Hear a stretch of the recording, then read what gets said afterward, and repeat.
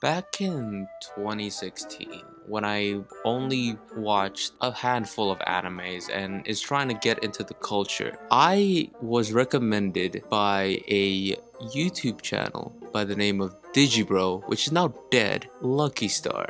So I gave it a watch. I gave the first episode a watch and saw the infamous chocolate bread scene. And I thought, damn, this is one of the slowest episodes I've ever watched in my entire life. So I skipped ahead to episode 10ish where the gang goes to a beach and just hangs out. And I thought, what the fuck? I skipped 10 episodes and it feels like nothing happened. And so I dropped it. Lucky Star is a 4 koma anime. And what a 4 koma is, is that it's those four panel manga adaptations where it's just a comedy skit over comedy skit over comedy skit. Think of Nichijou, think of K-On, Daily Life of a High Schooler. Think of those shows. It's just pure comedy. And to be honest with you, Lucky Star's comedy is not even that good. If I compare it to how much I laughed in a show like Pop Team Epic or a show like Asobi Asobase, I can't even compare it because I rarely laughed while I watched Lucky Star. So why am I recommending it to you? It's because this anime provided me with so much fun that other animes don't even compare. Lucky Star is so, so cute. I can't explain it to you how cute Konata is, how cute Tsukasa is, how cute Akira is. Every girl in this show is so cute and just waifu material that I would look past literally everything in this show because of these girls. And that's why I think this show is one of the best 4 komas of all time. You see, a 4 koma is a show that is reliant upon their main characters. If you have a shit four main characters, you're gonna have a shit four koma. In K-On, if Yui isn't as cute as she is, if Ritsu isn't this lovable tomboy girl as she is, if Mio isn't like this introverted, relatable, cute motherfucking black hair girl as she is. Azusa, who is just the cutest kohai and so relatable to have such a awesome kohai like her. And I can't even start on Mugi. Mugi is honestly pound for pound best waifu of all time, according to some people.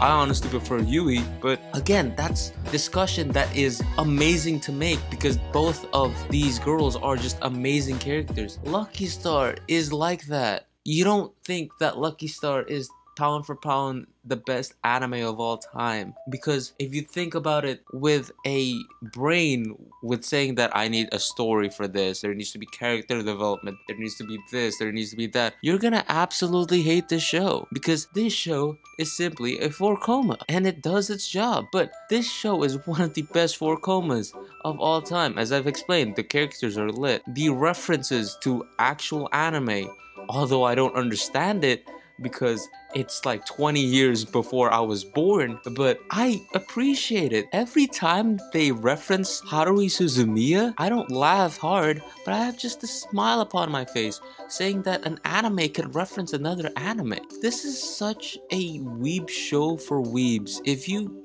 have been watching anime for at least a good chunk of time, you know, and you understand the culture and you understand the problems with being an anime fan and trying to keep it on the down low on your normie friends and what have you, this is the perfect anime. I know that relatable comedy is a terrible form of comedy, but when you slap cute anime girls above it, it sort of changes your perspective in things, does it? These girls are drawn in such a impressive and exhilarating way that till this point, till 2021, it lives up to that. You know, I always have this idea when it comes to anime or when it comes to anything that art styles don't improve, they simply change, while resolution does improve. If Lucky Star is aired in 1080p, this will be honestly a stunning anime, you know? But it's not. It's made in 2007. Course it's gonna look outdated. But something that just clearly just shows pops off to your head is just how Konata looks while she's doing stuff. How Tsukasa looks so cute. Or when Kagami blushes and honestly thinks about her love life. It's so cute and relatable and heartfelt. I haven't even talked about the best part of the show and is somewhat criminally underrated because people don't talk about it as much. Lucky Channel. Akira and Shiraishi has an incredible chemistry with each other. They are so perfect for each other with Shiraishi at the beginning sort of shy and then ends up being a total asshole to Akira knowing that Akira is this total bitch of a person. And Akira, although she's just like a total asshole, dude, you can't admit that She's the cutest little thing in the world. Even if she has this sort of like bitch face, that's so cute. And her little frame with her fucking like overgrown shirt, it's so cute. You know what I rate this show in my anime list? I rate it a 9. I rate it as one of the best animes that I've ever watched. I didn't say it's a 10 because it's very tough to break into my top 3 list, but this is honestly one of the best animes I've ever seen.